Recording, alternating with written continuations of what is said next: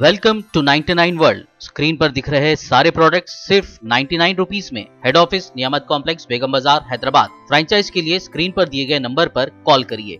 दौरे हाजिर में जहाँ बच्चों में इंटरनेट का इस्तेमाल बेतहाशा इजाफा हो गया है, वहीं ऑनलाइन क्लासेस के लिए भी इंटरनेट का इस्तेमाल हो रहा है। ऐसे में बहुत से नापसंदीदा सरगर्मियों का इम्कानी ख़तरा भी बढ़ गया है।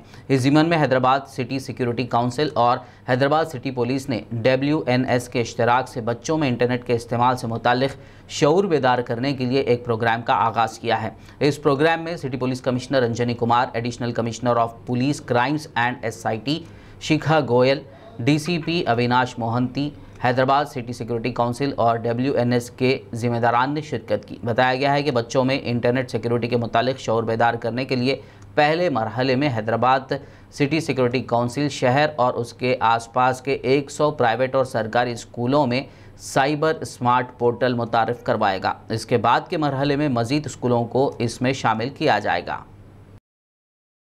Technology definitely has evolved. Particularly in the last 50 years, I would say, at a pace much beyond the imagination of the experts. One example would be Bill Gates himself in the early part of his career when he was inventing and innovating a lot of computer things.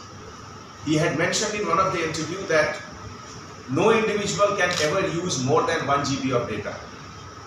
And now our cell phone is having one one I, I, I guess terabyte data also.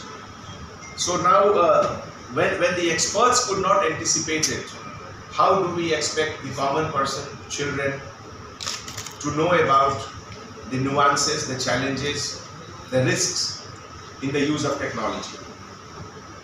I remember maybe about 35, 40 years back, much before the age of computer had set in, Alvin Toffler had written a book, Future Shock.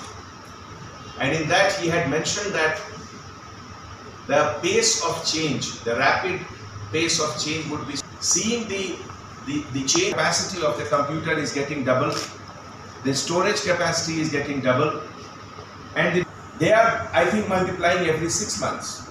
A, a situation which puts lot of pressure, responsibility on each one of us to save the vulnerables